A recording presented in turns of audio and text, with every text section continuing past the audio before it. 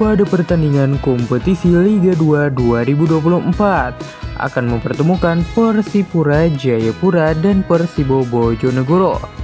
Laga seru ini akan digelar pada Sabtu 20 September 2024 pukul 13.00 waktu Indonesia bagian Barat dari Stadion Mandala Jayapura.